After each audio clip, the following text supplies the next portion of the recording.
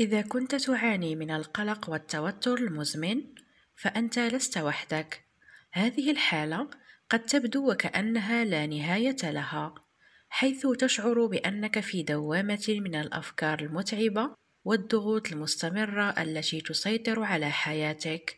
لكن لا تقلق، هناك خطوات يمكنك اتباعها للخروج من هذه الدوامة وتحرير نفسك من عبء القلق والتوتر. ممارسات التشافي البدنية والذهنية توفر لك الأدوات التي تساعدك في التحكم بمشاعرك واستعادة توازنك النفسي والجسدي. هذه الممارسات تحتاج بعض الوقت والتدريب، لكنها مفتاح للراحة والسلام الداخلي. أولاً، فهم العلاقة بين العقل والجسد.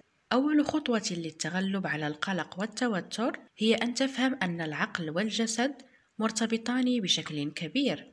عندما يكون عقلك مثقلا بالأفكار السلبية والقلق فإن جسمك يتفاعل على الفور. ربما تشعر بتوتر في العضلات أو زيادة في ضربات القلب أو ربما حتى صداع مستمر. هذا ليس مجرد صدفة بل هو دليل على أن ما تمر به عقليا يؤثر بشكل مباشر على جسمك. وبالمثل عندما تهمل صحتك البدنية مثل قلة النوم أو سوء التغذية فإن حالتك العقلية تزداد سوءًا. التغذية السليمة والراحة الكافية تساعد عقلك على العمل بشكل أفضل وتخفف من حدة التوتر. لهذا من المهم أن تعمل على تحسين كل من صحتك العقلية والجسدية في نفس الوقت.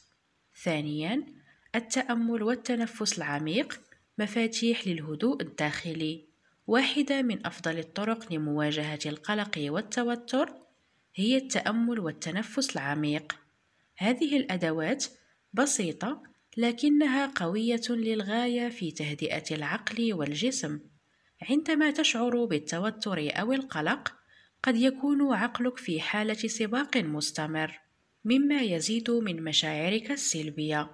التأمل يساعدك على إبطاء هذا السباق ويعيدك إلى اللحظة الحالية. ابدأ ببعض الدقائق كل يوم، اجلس في مكان هادئ وأغلق عينيك. ركز على تنفسك، خذ شهيقا عميقا ببطء من الأنف، ثم ازفر ببطء من الفم. هذا التمرين يساعد على تهدئة الجهاز العصبي ويخفف من التوتر النفسي. قد لا تلاحظ الفرق على الفور ولكن مع الممارسة اليومية ستشعر بتأثيرها الإيجابي على حالتك النفسية والجسدية. ثالثاً، ممارسة الحركة الجسدية لتحرير التوتر.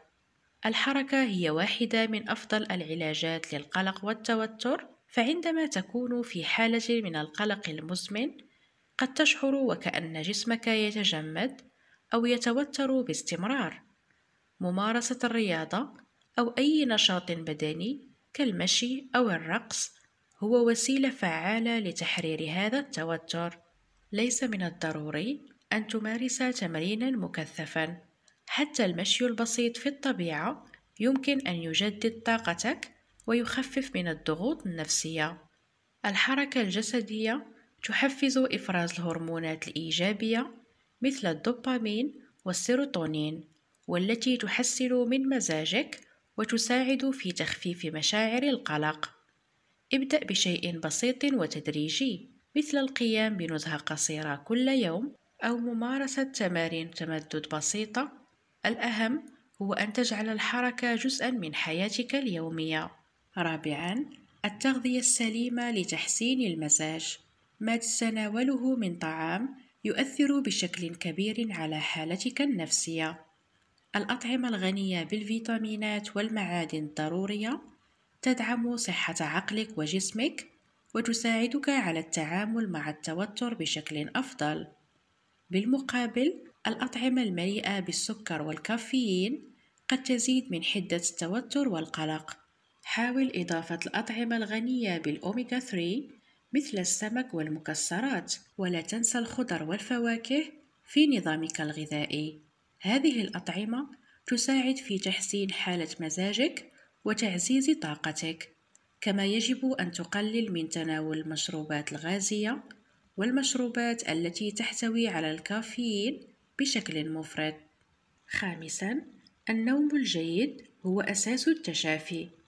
قد يكون النوم الجيد أحد أكبر التحديات التي تواجهك عند التعامل مع القلق والتوتر المزمن.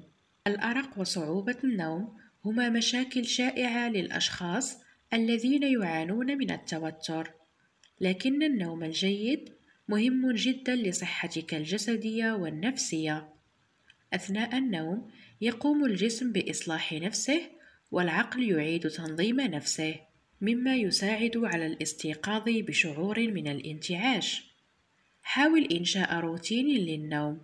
اذهب إلى السرير في نفس الوقت كل ليلة وتجنب استخدام الأجهزة الإلكترونية قبل النوم بساعة على الأقل من الجيد أيضا أن تقوم بخلق بيئة هادئة ومريحة في غرفة نومك مثل استخدام إضاءة خافتة أو الاستماع إلى موسيقى هادئة. سادساً: التعامل مع الأفكار السلبية. القلق غالباً ما يكون نتيجة للأفكار السلبية المتكررة. عندما تجد نفسك غارقاً في دوامة من الأفكار السلبية، قد يبدو من الصعب الخروج منها، لكن يمكنك البدء بتحدي هذه الأفكار. اسأل نفسك: هل هذه الفكرة حقيقية أو هل هناك دليل على أن ما أخافه سيحدث حقًا؟ قد تكتشف أن الكثير من مخاوفك غير مبررة وأنها مجرد نتاج لعقل يشعر بالقلق. تدريب عقلك على التفكير الإيجابي قد يستغرق وقتًا، لكن مع المثابرة يمكنك تعلم كيفية إعادة توجيه أفكارك نحو الأمور الجيدة.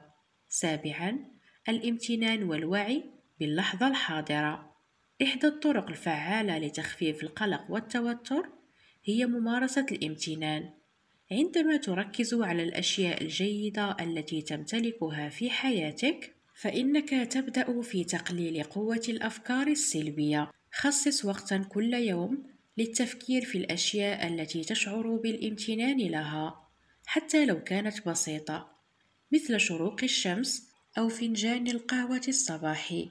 كما يمكنك ممارسة الوعي باللحظة الحاضرة بدلاً من التفكير في الماضي أو القلق بشأن المستقبل. ركز على ما يحدث الآن. هذا النوع من التركيز يعزز الشعور بالسلام الداخلي ويقلل من القلق. ثامناً: طلب المساعدة عند الحاجة.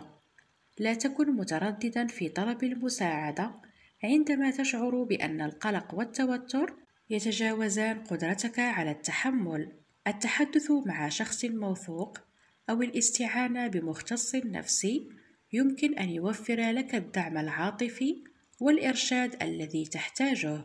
أحياناً مجرد التعبير عن مشاعرك لشخص آخر قد يجعلك تشعر بالارتياح. لا تخجل من طلب المساعدة أو الحديث عن مشاعرك، فأنت لست وحدك في هذه الرحلة. تاسعا الصبر والمثابرة هما المفتاح التحرر من القلق والتوتر المزمن ليس شيئا يحدث بين ليلة وضحاها. قد تكون هناك أيام تشعر فيها بتحسن وأيام أخرى قد تشعر فيها بأن الأمور تزداد سوءا. المهم هو أن تستمر في المثابرة والصبر. مع مرور الوقت سترى تحسنا في قدرتك على التعامل مع مشاعرك وتحقيق التوازن الجسدي والنفسي. في النهاية أنت تمتلك القوة لتغيير حياتك وللتغلب على القلق والتوتر المزمن. صحيح أن الطريق قد يكون طويلا وصعبا في بعض الأحيان لكن تذكر أن كل خطوة تخطوها نحو التشافي تجعلك أقرب إلى السلام الداخلي. ابدأ بتبني هذه الممارسات البدنية والذهنية في حياتك اليومية سواء كان ذلك من خلال التأمل، التنفس العميق، أو حتى تحسين عادات نومك وتغذيتك.